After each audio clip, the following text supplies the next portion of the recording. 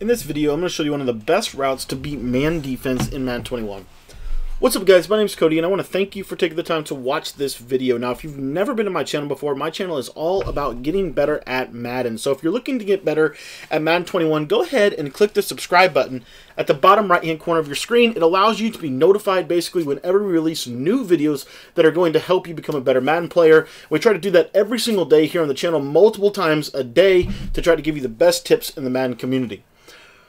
Okay, guys, so I just released an offensive full ebook on the bunch tight end. Now, the bunch tight end, in my opinion, is one of the most effective. I believe it's the most effective and simple offense that you can run in Madden 21 right now, and that's why we wrote an ebook on it. So if you want to get that ebook, that link is in the description of this video. Now, if you have any questions about the video or this formation that I'm about to break down, go ahead and shoot me a text message. But I wanted to share with you a, a specific route that comes to us, and it's it's actually not out of any play in this playbook, but you can use um, plays like mesh or X spot or stick um, to, to, to get this route if you don't have a slot apprentice or if you don't have um, a hot route master. Now, I think most people um, that have uh, Madden 21 at this point, especially if you're playing MUT, you're going to probably have the ability to get either a slot apprentice or a hot route master. And if you're playing regs, I think a lot of people are starting to shift to the Bucks because of how powerful hot route master is. So anyway, all that to say, those are some key points with this. But this this is a man beater. It's a very simple man beater, but I think it's I think it's actually very very effective. And all we're really going to do here is essentially we're going to take Mike Evans and we're going to put him on a crossing route, and then we're just going to simply put the the tight end on a delay fade. And then the last step that I like to take is I like to take Brown and I like to streak him just straight up the field. And what you'll see here is this streak is going to really open up windows for this crossing route. Now, that's more for zone coverage, but what you'll see is this crossing route gets absolutely phenomenal separation um, against that man-to-man -man coverage, as do most crossing routes um, in this game. But the key with this crossing route and why it works so well, and you can do it from either receiver. It doesn't have to be, um, it doesn't just have to be Mike Evans. It can be any of these three receivers. But when you motion this crossing route over, it really, really makes a big difference in the effect effectiveness against man-to-man coverage. And the reason why is because this crossing route now becomes unbumpable, meaning the defense cannot press it. And what you'll notice the more that you run this is it doesn't matter, again, it doesn't matter. Any of the receivers can go on this crossing route. It doesn't just have to be one guy or the other guy. Um, they're all going to have really, really good results uh, from this motion over crosser. As you can see here, it's consistently beating man-to-man -man coverage. Now, one of the most popular defenses in the Madden community right now is to basically put your purple zones at 20 yards and then essentially have one guy in the middle of the field. As you can see right here, this is how I have my defense set up. Everybody's manned up. We also have our safeties in those 20 yard uh, cloud or um, 20 yard curl flat zones. So that's why you like to streak this guy because what the streak is going to do is he's going to basically clear some space for your crosser.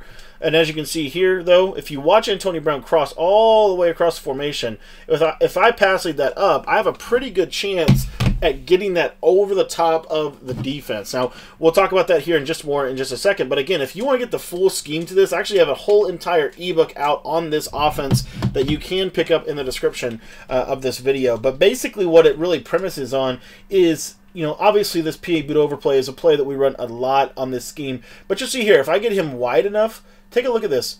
That purple zone on the left is not playing this, right? Now, yes, Jaire Alexander, he does have an ability, and so Jaire Alexander was able to basically get there. But let me just show you. Let me just flip the play here, and I'm going to run that same setup. So I've got basically those purples, and then I've got that deep blue zone over the middle of the field. Now, what I want you to do is I want you to watch Antonio Brown, because I'm going to do the same thing with Antonio Brown. I'm just going to bring him uh, from right to left on a crossing route and snap him. You know, you can snap him right there. You can also snap him all the way out here, and you'll see here that. And of course, I get I get shamed by the by the um, the practice mode super sheds. That is practice mode, uh, 100%.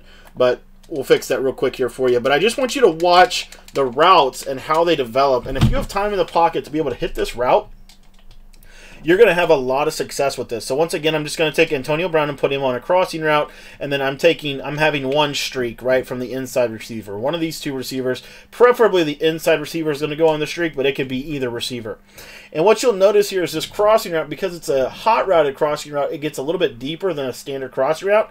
And as you see here, this curl flat defender, I can just pass lead this up right over a 25 yard curl flat. And as you can see, it's very, very effective. It gets over the top of that coverage. So, in the perfect world, what you could do, and this is kind of a, a meta setup that a lot of people like to do, um, is we all know that tight ends are unbumpable.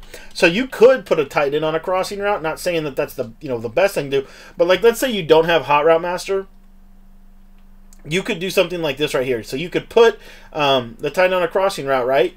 And then you could basically, from bunch tight end, you could motion this guy back and essentially have kind of a similar feel. Now he won't be um, now because of his position, you know, he's not going to be unbumpable, but it's kind of a similar feel. And I'll show you how to do this from like a like a player that, that wouldn't get pressed really quickly here, um, just so you can see this. So this is actually something I really, really like to do out of bunch tight end. I'll kind of play some motion games with them, just to think that I'm creating different types of routes. So you might see something like this, and motion back over, you know, do all of these different dances and things. Um, but then what you'll see is I go to something essentially like this right here, where I have two crossing routes, a streak, but now you see it comes back across. I find this setup to be actually really, really effective, as you see right there, beats the man coverage right over the middle of the field for an absolute laser. So the point is simply to try the crossing route against man coverage. I'm sure all of you know that by now, but these crossing routes are not all created equal. So for example, let's take a look at Gronkowski's crossing route. That crossing route is a much shallower crossing route than Chris Godwin. And As you can see there, if they're in man coverage on that tight end, they'll be able to defend that. So the better route running you have, the better the crossing route will work for you.